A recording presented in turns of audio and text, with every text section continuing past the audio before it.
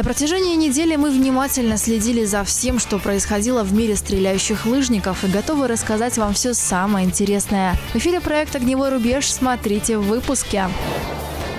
Медальные выступления и вынужденная тренировка вместо стартов. Как прошел этап чемпионата России в Ижевске. Один из главных стартов сезона. Чем запомнились Олимпийские дни молодежи по биатлону. Новое место встречает. Мировой биатлон переезжает в Чехию.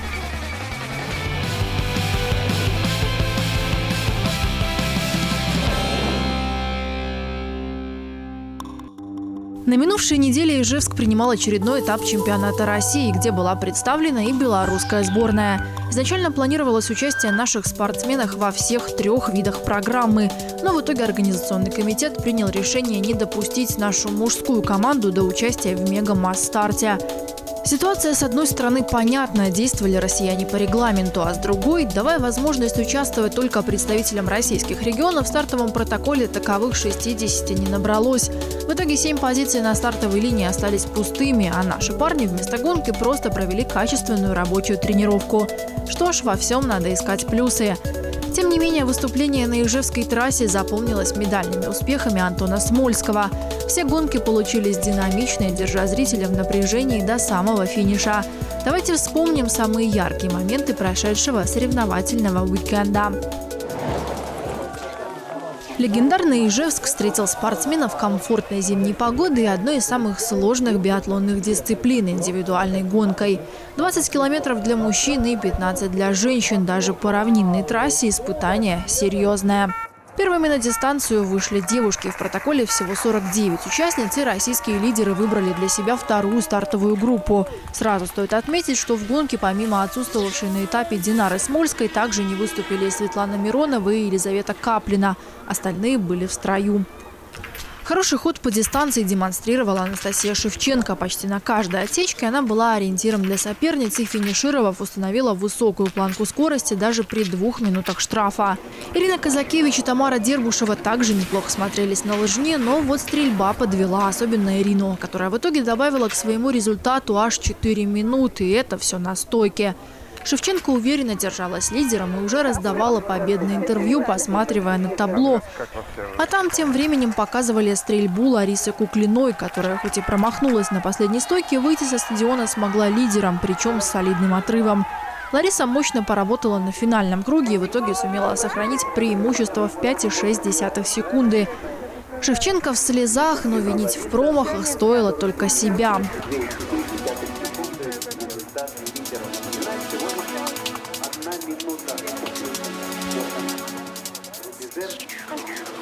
Выйдя на старт последней, Наталья Гербулова, которая не блистала в Раубичах, снова выдала суперскорость.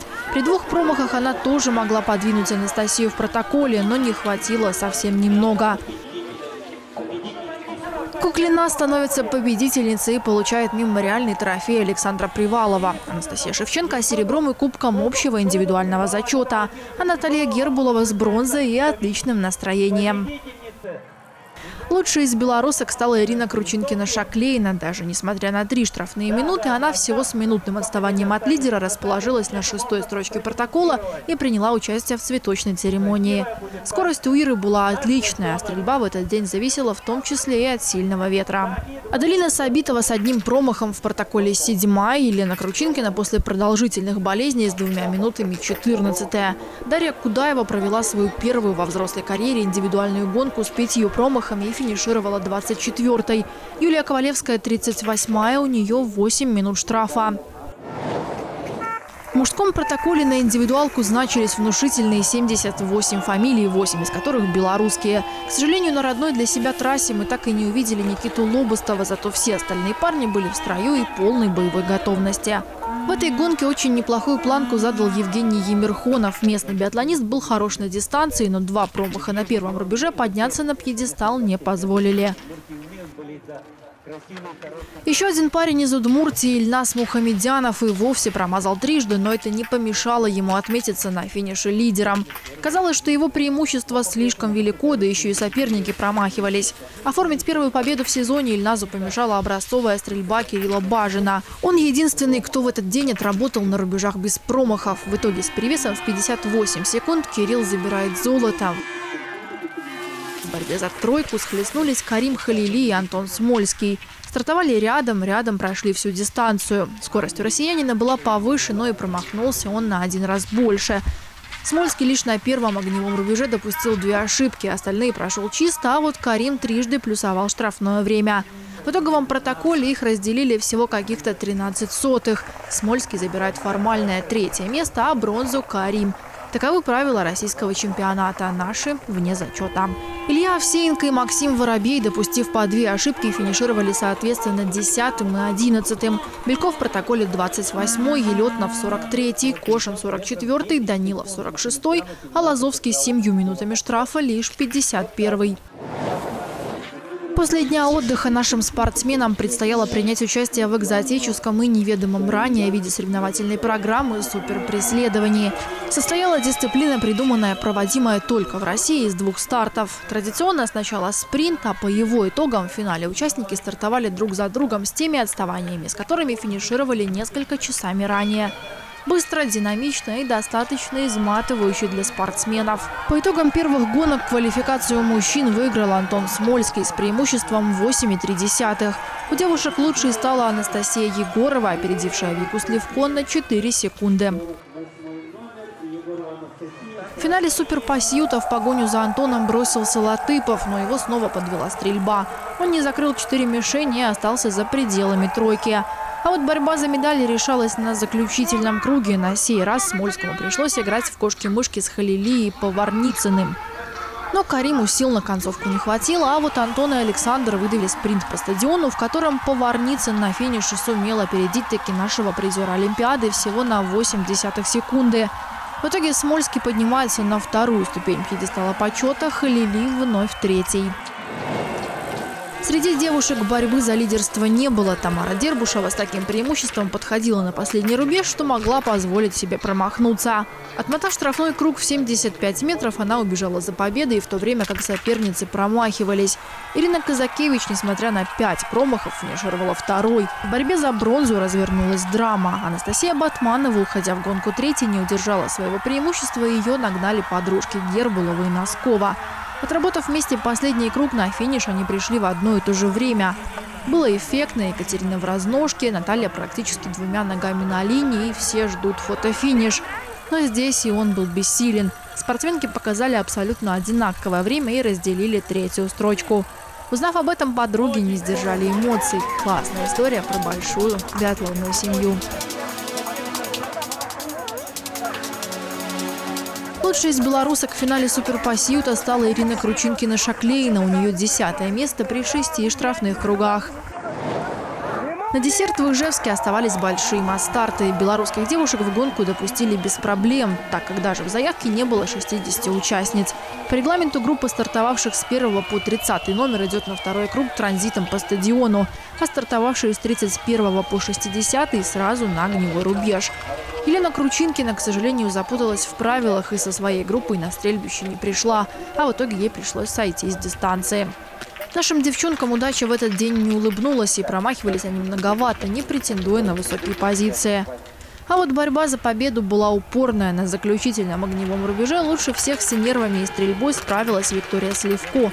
Она убежала с небольшим преимуществом на финишный круг и не позволила Анастасии Гореевой себя достать. В итоге Вика гордо и красиво оформляет очередную победу в гонке с массовым стартом в этом году. Кореева вторая, а вот за бронзу снова были те еще разборки. Куклина и Дербушева на последнем вираже уже выбыли из борьбы. А вот Шевнина и Носкова разбирались на последних сантиметрах. В очередной раз свой суперфиниш выдает Екатерина. У нее и вторая бронза на этапе. В мужском мега-масс-старте наших парней не было, они проводили дополнительную тренировку. Зато было семь пустых позиций на стартовой поляне, но, как пояснили в Союзе биатлонистов России, все было сделано по регламенту. Удивительная история в этот день приключилась с лидерами Бабиков и Бажин. По ходу гонки, демонстрируя отличную скорость, и промахнулись по четыре раза. Поршнев зашел на пять кругов, а Латыпов и вовсе на шесть. Никому из них даже не удалось приблизиться к тройке. А вот своей турбоскоростью сумел вновь воспользоваться Ильнас Мухамедянов. И даже три штрафных круга на стойках не помешали ему дома гордо финишировать с флагом, приведя в восторг местных болельщиков. Иван Колотов тем временем стал вторым и оформил первое попадание на пьедестал в рамках российского чемпионата. Тройку замкнул Михаил Первушин, допустивший лишь одну ошибку на рубежах. Так интересно и неожиданно сложилась заключительная гонка в рамках Ижевской винтовки. То ли еще будет в Ханты-Мансийске.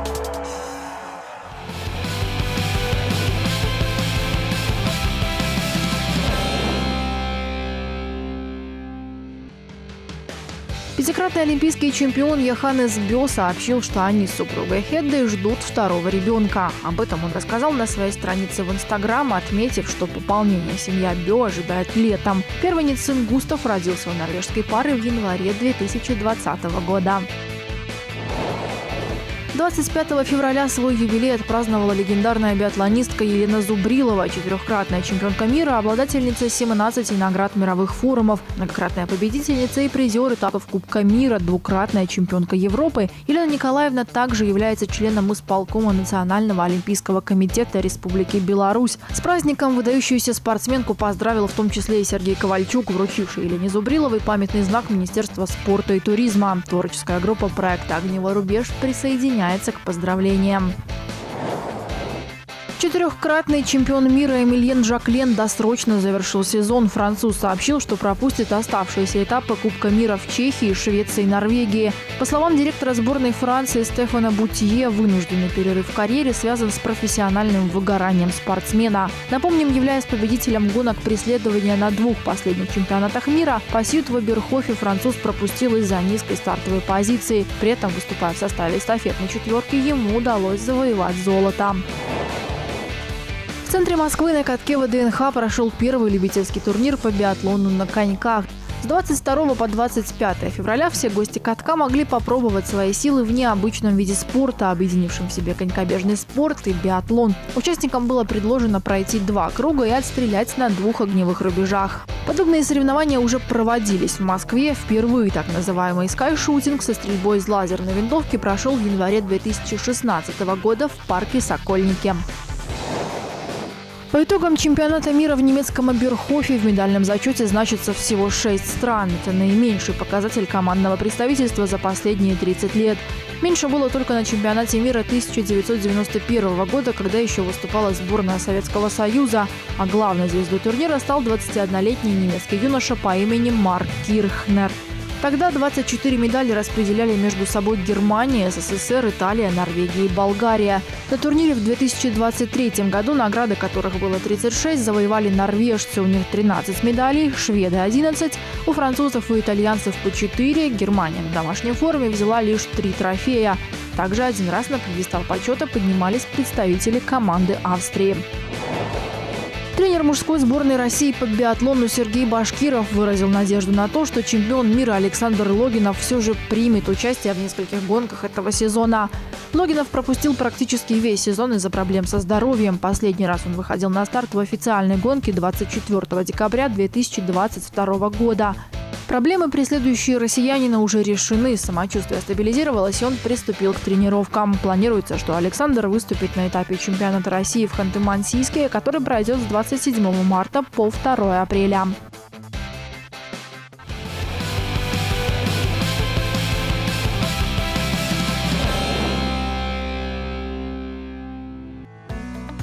Для подрастающего поколения белорусских биатлонистов сезон в самом разгаре. Молодежь по ходу зимы набирала форму, проходила региональные областные отборочные турниры, принимала участие в том числе и в Кубке Белорусской Федерации биатлона. На минувшей неделе пришло время проверить свои силы на одном из главных стартов зимы, который собрал лучших стреляющих лыжников со всей страны. В этом сезоне в спорткомплексе под Минском биатлонные соревнования проводятся чуть ли не каждую неделю. То Кубок Содружества, то чемпионат Беларуси, то снежный снайпер. Очередным стартом, который принимали Раубичи, стали Олимпийские дни молодежи по биатлону. Для юных стреляющих лыжников это один из важнейших стартов сезона. Очередной шанс заявить о себе, показать лучшую скорость на лыжне и качественную работу на стрельбище. Словом, все то, что нарабатывали на протяжении сезона. В турнире принимают участие представители всех регионов нашей страны. Сильнейшие ребята и девчонки возрастной группы 2004-2007 годов рождения дали возможность на этих соревнованиях поучаствовать также а, спортсменам а, лично. Поэтому здесь такая достаточно серьезная конкуренция и так много участников.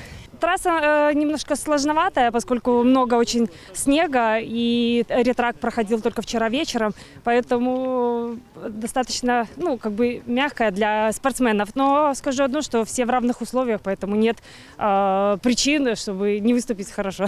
Первых два дня была просто замечательная трасса, погода была на руку, и ветра не было, штиль был, и трасса замечательная была. Сегодня немножко все потаяло, будет сложно, будем стараться зима не заканчивается. Конечно, свежий снег э, всегда проблема для тренеров, сервисменов, для э, спортсменов, потому что скольжение уже другое. Но в то же время биатлон же зимний вид спорта. И мы бежим в любых условиях. Юноши и девушки боролись за медали в трех дисциплинах. Стартовала соревновательная программа с спринтерскими гонками, затем прошли гонки с массовым стартом, а на десерт организаторы приготовили смешанную эстафету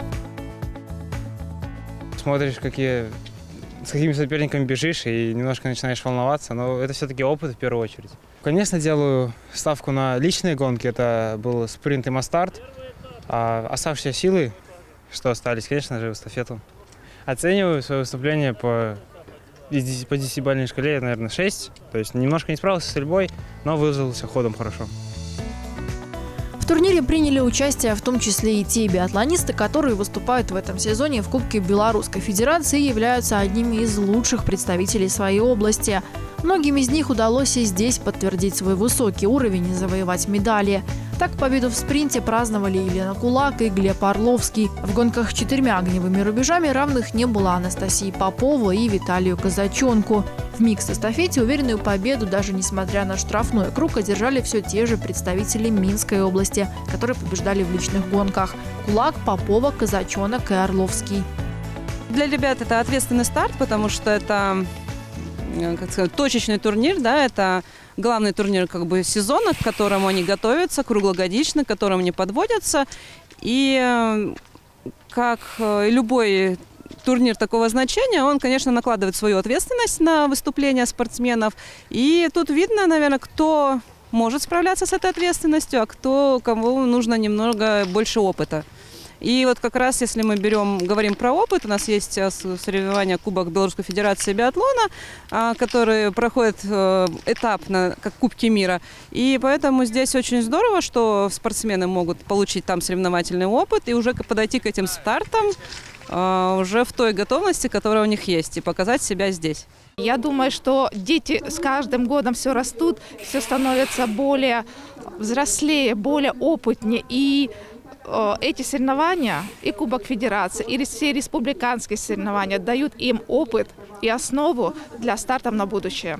Я скажу, что на Кубке Федерации всегда побеждает команда Витебской области. Здесь на республиканских соревнованиях немножко поменялась э, ситуация, и у нас лидирует команда Минской области. Поэтому все меняется, дети растут, дети показывают очень неплохие результаты, и мы ждем новых звездочек. Отечественный биатлон с точки зрения работы на перспективу идет семимильными шагами. Турнир, созданный 6 лет назад Белорусской Федерации, на данный момент является прекрасной стартовой платформой для дальнейшего роста молодых спортсменов. Кубок Федерации дает возможность прочувствовать соревновательную атмосферу самых первых выступлений, принять опыт у старших и выходить в каждой возрастной группе на качественно новый уровень работы – Тому подтверждение результаты Олимпийских дней молодежи, где на лидирующих позициях многократные победители и призеры этапов Кубка. Главная задача – вырастить профессионалов и передать их грамотным специалистам на следующую спортивную ступень. Здесь, конечно, у нас идет все поступательно. То есть, если мы говорим про возрастные категории юноши, девушки, юниоры, юниорки, мужчины, женщины. И, естественно, а, когда спортсмен с одного класса переходит в другой, ну, это все отслеживается, фиксируется, и дальше поступательно строится подготовка. То есть для того, чтобы нам прийти в национальную команду, нам надо из года в год подниматься по вот этим ступенькам и, соответственно, планомерно потом уже надеюсь, что мы наших ребят увидим в рядах национальной команды.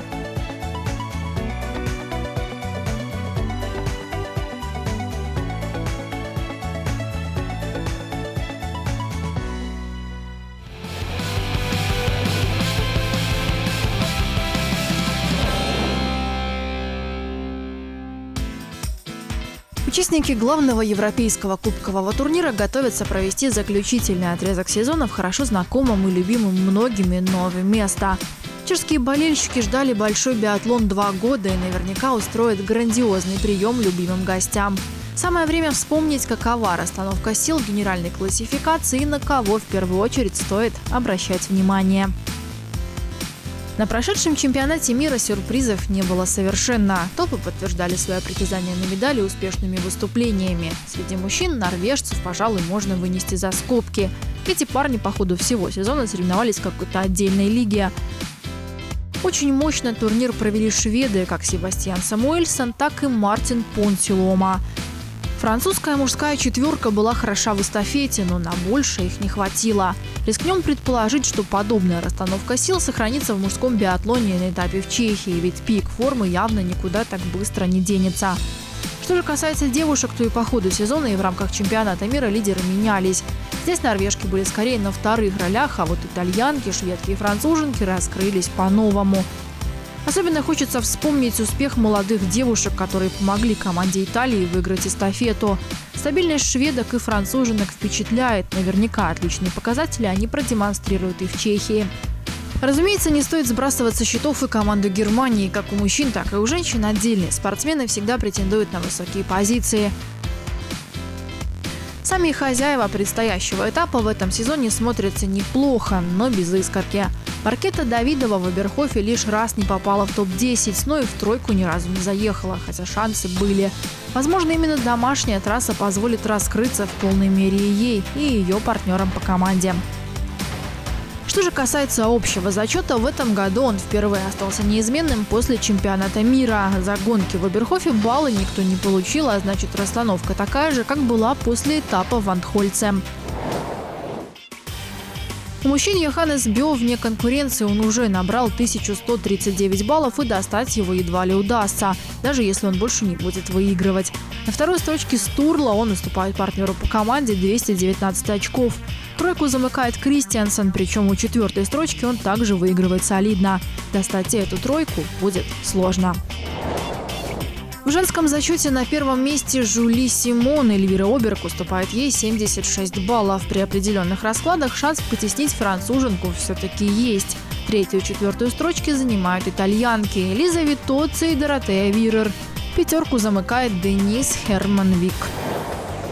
Соревновательная неделя в Чехии обещает быть интересной и захватывающей, тем более, что атмосфера на стадионе с гигантской болельщицкой трибуной, которую возводят специально Кубку мира, всегда невероятно мощная. Кубок IBU тем временем проходит за океаном. Два заключительных этапа принимает канадский Кенмор, который давненько не видал большого биатлона. На сей раз там хотя бы и не такой зубодробительный мороз. Комфортная погода до минус 6 градусов днем позволила провести все старты без переносов и ограничений. В программе первого этапа значились спринт, суперспринт и большой масс-старт на 60 человек. В турнирной таблице по окончании шести этапов у мужчин на первой строчке Эндрес Трёмсхайм – в целом, как и на Кубке мира в турнире рангом ниже, лидирующие позиции захвачены норвежцами. Второй состав викингов удерживает четыре позиции в пятерке лучших. Среди девушек все интереснее. Тильда Йоханссон, Жилон Гигона и Поля Боте среди лидеров общего зачета. Заключительный этап второго по значимости Европейского кубкового турнира также пройдет в Канаде, где с 1 по 4 марта состоятся спринтерские гонки, затем преследование и смешанные эстафеты. По итогам этих стартов определятся лидеры всех зачетов, а также победители в генеральной классификации, которые получат дополнительную именную квоту на стартовый этап Кубка мира следующего сезона. Молодые спортсмены, выступающие по юношам и юниоркам, уже в конце этой недели выйдут на старт первых гонок в рамках юниорского чемпионата мира. Право провести турнир получил Казахстан. Соревнования с 4 по 12 марта пройдут в Щучинске, где будет разыграно 18 комплектов наград. Ранее турниры такого масштаба на этом стадионе не проводились. Программа там будет стандартная, зрители увидят связку спринт, преследование, индивидуальные гонки, а также традиционные смешанные эстафеты.